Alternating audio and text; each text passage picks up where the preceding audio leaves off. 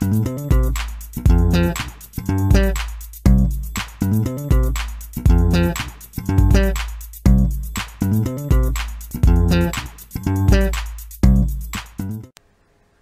kids, and welcome to another edition of Mr. Ashley's Reading Room. Today's story is titled At Bat and is written by Precious McKenzie and is illustrated by Mike Bryan. The summer campers were having a great day of playing baseball until a ball flies over the fence and hits a bus. Please enjoy today's story. At Bat, the B Sound Adventures. Words to know before you read.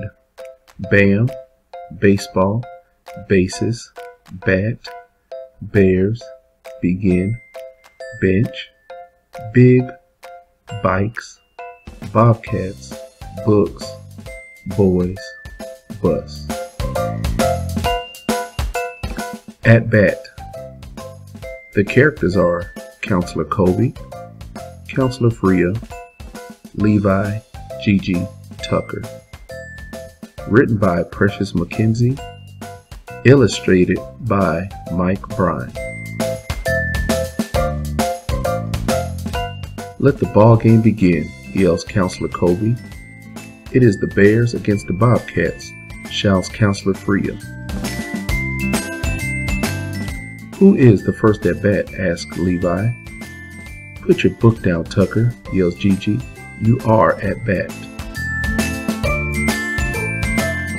Tucker takes the baseball bat.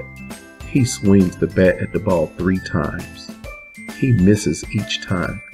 You are out, shouts the umpire. I thought all boys were good at baseball, says Gigi. Tucker sits sadly on the bench.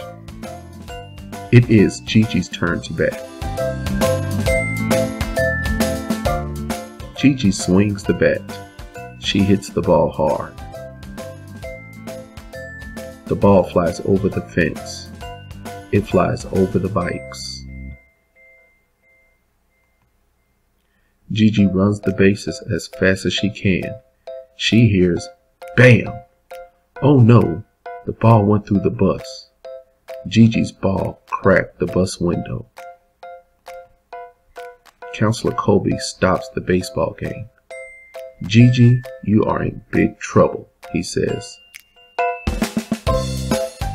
Now Gigi looks sad. I'm sorry I made such a big mess. Let's go over the vocabulary words. Baseball. Baseball is a sport where teams take turns hitting the ball. The winning team scores the most runs. Bat. A bat is the wood or aluminum club. It is used to hit the baseball. Bench. The bench is the place in the dugout where the players sit. Bikes. Bikes is another word for bicycles. People pedal and ride bikes for fun. Book. A book is something that has words. A person can read a book to learn. Boys. Boys are young men.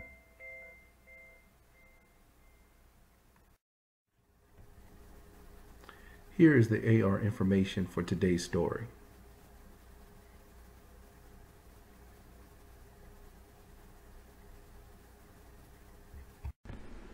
That's our show for today. I hope you guys enjoyed it. Please don't forget to hit the like button and subscribe to this channel as I will be uploading a new episode every Tuesday and Thursday for the rest of the school year. Please keep reading, keep learning, and keep reaching for those stars. And I hope to see you next time right here in Mr. Ashley's Reading Room.